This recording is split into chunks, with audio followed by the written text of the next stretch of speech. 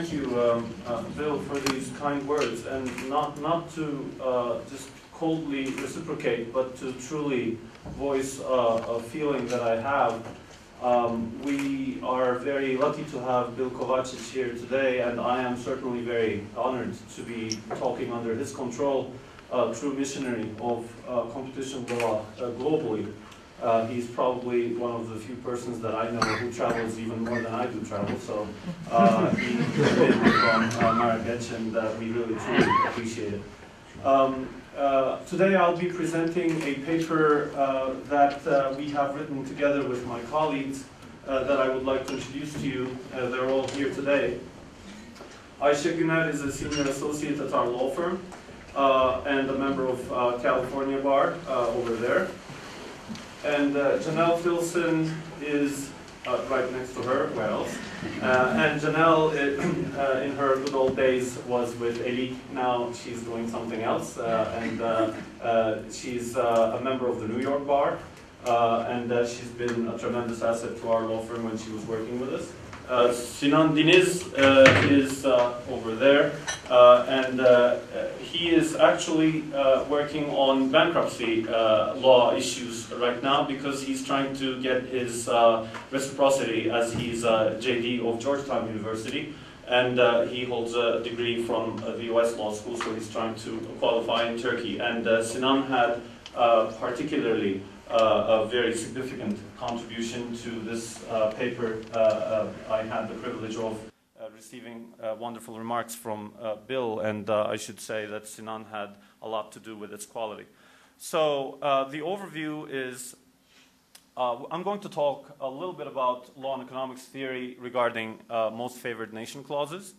And then I'm going to talk to you about the, the legal cases uh, that are discussing uh, the uh, MFNs. I will be referring to them as MFNs after I describe what that is to you. And uh, finally, we'll be throwing in the idea of having guidelines on most favored nation clauses in a better handling of it in competition law. To put out our thesis, which is a, a reading between the lines kind of exercise for the purposes of the paper, but it should be said out loud uh, when presenting this paper, um, our main thesis is that um, the MFN clauses are truly delicate frail, fragile animals of uh, free contract. And therefore, if the current handling of MFN clauses in a very fudging environment, in a very uh, difficult to predict environment were to continue, then it is highly likely that people will not be engaging in MFN clauses in the foreseeable future. And that may not be in all given circumstances efficiency enhancing. So conversely, what we are saying is, yes, we recognize that the MFN clauses might be having certain, uh, uh, certain anti-competitive effects in given fact circumstances, but we, if we can secure a predictable environment through guidelines, then we can prote protect MFN clauses, and that would be efficiency enhancing because ultimately the MFN clauses are not all evil. And uh, yet, the very complex handling of, MFN clauses might lead to the result that they are seen uh, to be as such. Uh, Ömür Bey, burada yer var, buyursunlar. So, what is a most favored nation clause, uh, which is uh, an MFN? It is basically an agreement by which the seller agrees, so it's a, it's a commitment at the seller's side. The seller agrees to use the most beneficial terms that that seller, agree, uh, that seller uses uh, with a certain uh, counterpart uh, uh, uh, with the others. So in, in shorter terms, basically what's happening with an MFN clause is the brewer, for example, says to the bottling company, okay, I'm getting my bottling from you, but I would like to know that these bottles are being provided uh, to me on terms that are no worse than the other bottling companies are getting it uh, uh, from you. Uh, sorry, the other uh, brewers are getting it from you. So I, I would just like to comfort myself that I am not being taken in this negotiation and these are the best terms available in the marketplace. When you look at it that way, and that has been the way of the US antitrust law at the beginning of it, it just prima facie looks like a good thing. So uh, when you uh, take a snapshot of that instance where that negotiation is happening, that particular negotiation of a, uh, an MFN clause makes you feel that the prices are going to go down and there is some aggressivity in the marketplace, and that's a good thing, and that's uh, enhancing uh, competition. But when you look at it as a process, as you should always in competition law matters, and not as a snapshot of uh, a particular uh, occurrence of the marketplace, the process plays out sometimes as the MFN clause basically shifting the, um, the pricing behavior. And uh, you start seeing that the existence of the MFN clauses sometimes, in certain given circumstances, are leading to a situation where it becomes more and more expensive for the seller to be providing reduced prices, especially to new entrants of the market. So it is more difficult for the seller to be more aggressive vis-a-vis -vis certain counterparts. And so uh, it's not always efficiency enhancing, and uh, it is very confusing, obviously, to the parties that are engaging in MFN clauses uh, which, uh, by way of inference, comes to a point after the e-books uh, handling in the US and the uh, EU jurisdictions and the healthcare sector inquiries and the, uh, uh, the typical handling of these matters in certain other sectors in the EU, that your everyday client might just say, you know what, this is too confusing. I just can't understand if the MFN clause in and of itself is a bad thing, so I'm just going to do away with it which is what we're trying to prevent and which is what we're trying to say with this particular paper that ultimately there are certain transaction costs that are being dealt with and it should be a good thing.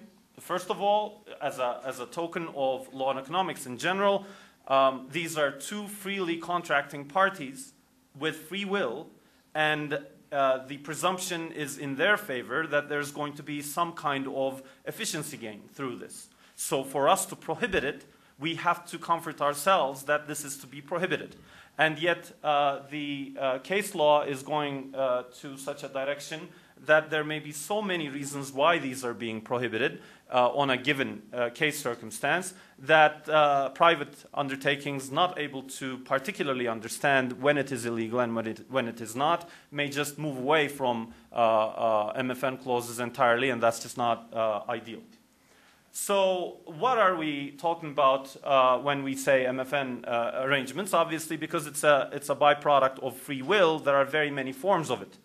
Uh, one form of it is MFN Plus, which is the most aggressive type of it, uh, where the buyer is not guaranteed a matching of the best available price, but rather the buyer is guaranteed that the price that the seller is giving to that particular buyer is the best price available and there is no price beating it, and there won't be.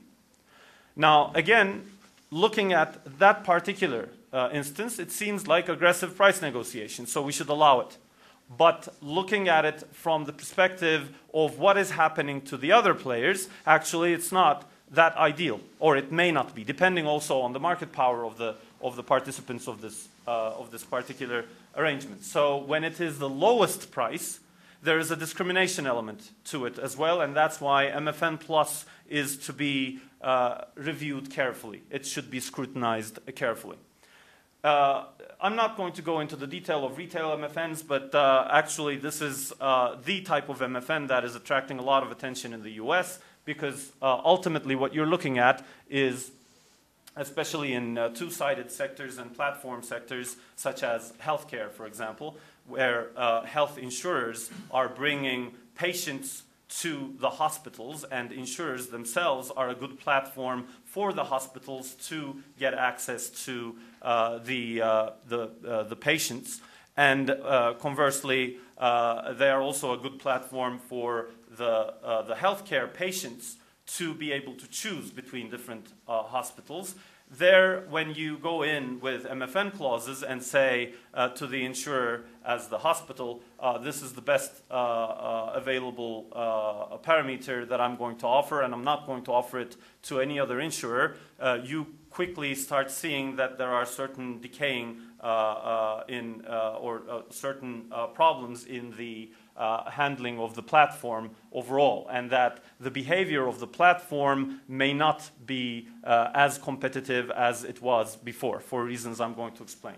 Retroactive MFNs are typically a problem where you claw back certain part of uh, uh, what, you, what should have been your price. That also comes with auditing clauses, and typically these are the types of contracts that we see in the, in the uh, private uh, practice of antitrust law very frequently as well. So what the parties say is, you know what, uh, to the ex extent uh, you have given a better price to a counterpart, I will be able to see it because I'm going to audit what you're doing. And then I'm going to claw it back, the difference. So there's going to be a price difference invoicing relationship. Now that makes the market too transparent. That also uh, makes sure that there is a controlling relationship between the seller and the buyer of the relationship. So typically when it has a retroactive effect, we're uh, again offering that there be a, a, a higher degree of scrutiny.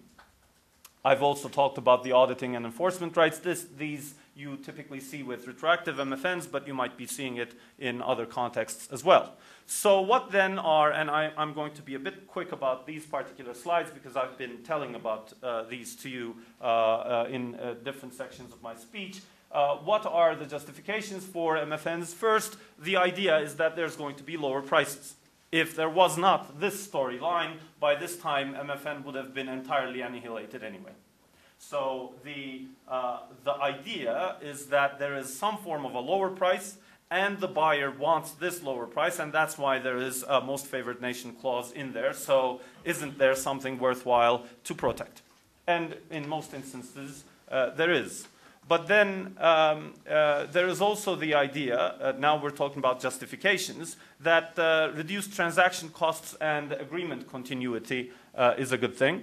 Uh, this is not the type of transaction cost I was talking about earlier. This is the transaction cost of engaging in the transaction and the bargaining of a better price. You just don't engage in that kind of a, uh, discussion again and again. So it's efficiency enhancing because you know the deal that you're getting. It uh, makes the marketplace more predictable from a bargaining perspective. And uh, because you know what you're going to get, you're also uh, solving some other problems that come with, uh, uh, with bargaining your contracts, such as um, protecting your platform and brand value. Now, here, this justification has taken a, a significant hit with the ebooks uh, uh, case, because with the ebooks case handling, basically the counsel to, um, to uh, Apple uh, and Amazon, they have tried their best with coming up with all of the justifications and arguments on platform and brand value, basically alleging that uh, to the extent there is an MFN clause, and, and there, are, there are MFN clauses in there, uh, it is good for the marketplace because the platform is predictable in its uh, pricing, and the people buying their books online are not feeling the need to compare prices so aggressively as they feel that it's just a, a, a channel that they use and they don't, uh, they don't feel cheated on, if you will. And that does not hurt the image of, uh, or, or, rather, that helps with the image of online purchasing. So what they say is that this is good for the protection of uh, the platform. We have uh, Mr. Ismail Hakkı Karakelle with us today, who has been uh, um, everything to the Turkish Competition Authority for uh, such a long time. And he will remember uh, the years in, in 1997 when um, there were the very first investigations in Turkey, and I was representing certain companies, and he was uh, at the competition authority, where there was a very favorite argument with Turkish businesses, where they said it is a matter of brand image. We have to have higher prices because brand images are going to be hurt. No one ever says this now. Uh, in 2014, this is something that you laugh at, and, and that's just you know uh, not a competition law argument that you run anymore. It is possible that this platform and brand value argument is going to fall into that kind of a category as far as the MFN clauses are concerned, because the platform value is more and more receding to a, uh, a route that only talks about the image of the, of the channel and not, uh, not much more. Whereas the reduced delays issue is extremely significant, where in the reduced delays uh, matter, there could really be certain modelings of cases where the, um, the model would give you the result that it is efficiency enhancing every time. So what's happening is there are uh, buyers, uh, uh, there is one, uh, a, a uh, group of sellers and there is a buyer, and the group of sellers need to complete the sale collectively so that it means something to the buyer, like uh, buying a piece of land from partitioned stakeholders, for example. There are seven stakeholders of a land, I'm going to build something on it, but I need to buy all seven of these parcels, otherwise it's just not going to help me at all. So as I start buying one by one, one of the hurdles that I deal with is that the holders of the buyers, uh, uh the holders of the parcels have an incentive to cling on to their property and wait uh, to be the last one. Whoever becomes the last to sell the parcel is going to get a higher premium on it. And because it is a game theoretical, uh, game theoretical kind of circumstance where everybody knows the other uh, party's moves, suddenly there's a stalemate. Well, by way of injecting MFN clauses in there, you could actually diffuse and you could actually penetrate and uh, lead to a result whereby you have uh, achieved uh, uh, better handling. And reduced price competition obviously is the potential harm of MFNs. This is now being discussed more loudly. Uh, so to the extent there is an MFN clause, it might be leading to the fact that uh, uh, people are running the argument that their hands are tied. And uh, of course, exclusion, I think, is uh, perhaps the biggest uh, problem where MFN raises rivals' costs, as it is seen, you can see it in the paper as well, as it is seen in certain cases uh, in, uh, uh, in, for example, digitalization of movie theater output. The, the basic idea is that independent movie theaters are not able to penetrate in the, into the market and are not able to work with the integrators anymore. Integrators are people who are digitalizing uh, the movie theaters because there is an, an MFN clause between the, uh, the bigger movie theaters, let's, let's give an example from our uh, country, uh, uh, Mars, for example, and Warner Bros. and uh, Disney's of the world. Because they have an MFN clause in there, it gets too expensive for them to deal with the independent uh, movie theaters on different bases. Whereas if they were to be left alone and if there were no such clauses, then probably they were going to take advantage of the given situation and they were going to say, listen, this is no Warner Bros. or Disney that we're negotiating with, but there is still money, money to be made, so I'm just going to give them more favorable terms because they're smaller and, and that's what they can pay. Because it's not always a, a matter of economies of scale that leads what the prices are. Sometimes it is just the opportunity. And the provider is unable to seize the opportunity because uh, the provider feels, well, you know what? If I were to give the independent uh, movie theater a better um, term for integration into the di digitalization, then suddenly I'm going to be liable with uh, a gigantic amount vis-a-vis -vis, uh, the, uh, the AFM type uh, uh, chains of movie theaters, and that's just going to be too costly, even perhaps uh, higher than the gains that I'm going to get in this particular transaction. So before you know it, the independent uh, contractors, uh, sorry, the independent movie houses are actually unable to shift themselves to a digitalized marketplace where the content is now put on display like that. So they're being excluded from the marketplace. So I'm not going to go into each and every one of the, the cases, and I'm wary of my timing, so I'm wrapping up in uh, two, three minutes at most. Uh, uh, uh but what I tried to do uh, uh, is that I have embedded a lot of my slides into these slides. I'm also trying to comfort my team who know that there are a lot of slides that I have not covered, but I think this was a better way of interactively presenting it to you. So um, basically what it does is um, uh, these MFN clauses on a case-by-case -case basis might be very uh, beneficial or they might be uh, very anti-competitive. Uh, and it might be also a hotbed of collusion, obviously. So I'm now doing uh, away with the uh, uh legal cases in the United States. It's uh, extensively written in the paper. I'm not going to uh, go into the details of that, and I have explained quite a bit of that already. one thing that I would like to take note of is that we're, as a jurisdiction, we're not entirely oblivious to the MFN clauses and actually, the Turkish Competition Authority has taken interest in 2010 in uh, the MFN clauses uh, between Sony Europe and Arçelik.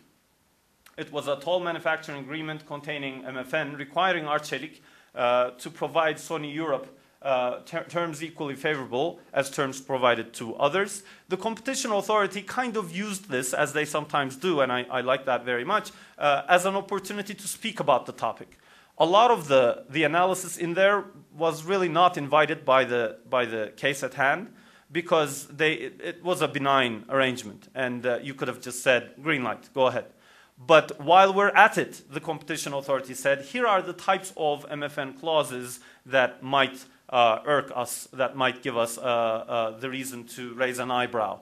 Uh, but uh, we're not going to do that in this particular in instance because. So almost the Turkish Competition Authority is paving the way for me to say now it's time for a guideline because it's not going to be sufficient to speak uh, every five years when that odd MFN case comes uh, your way. Typically, where MFN case, and that's uh, an important sentence in my view, typically where the MFN clauses are, uh, uh, are born or uh, the MFN clauses die is without the knowledge of the competition authority. It is the free will and the contracting stage and the negotiation stage. So if you confuse the climate too much with your signals, then it's just not going to be born and you won't even know about the, the loss of efficiency there. And that's why you need to protect with a guideline. So the idea of the, uh, the leading uh, competition authorities of the world, um, uh, and I would, I would love to see a guideline from one of the leading competition authorities in the world so that uh, it has a locomotive power, um, uh, should not be whether they're dealing with MFN clauses all the time, whether this warrants that kind of an attention. Why are we coming up with a guideline? We're not even looking at more than five uh, cases uh, a year. They should just know that it is a natural instinct of parties to go for MFN clauses. There are very many instances where this is natural, and it may not happen if a guideline is uh, not holding their hands. And yes, it will not be coming before them because it, ha it has to be uh, a very exceptional circumstance that it hits the uh, records of, the, uh, of, the, of any competition authority. So with that, uh, basically, we are giving a proposal for a particular guideline. I have already given you what that guideline should be all about, so I'm not going to go over uh, the things that I have said. And my last sentence, therefore, uh, on this is going to be a big thank you for, for bearing with me for so long.